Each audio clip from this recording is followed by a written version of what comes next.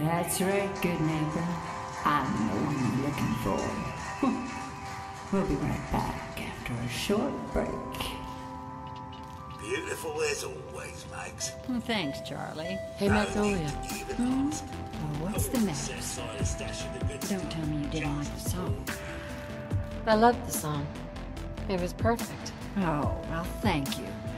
A girl tries her best. Hmm. Now, there's something special about you, isn't there? But don't tell me. Let me guess. You're a survivor, aren't you? I bet the whole world could stand in your way and you'd just keep going. So, what brings a woman like you to my part of town? I came here for the music. Flatterer. I think you and I are going to get along. So it's my turn to answer questions, right? What can I do? I was wondering if we could get to know each other better. Oh, go on.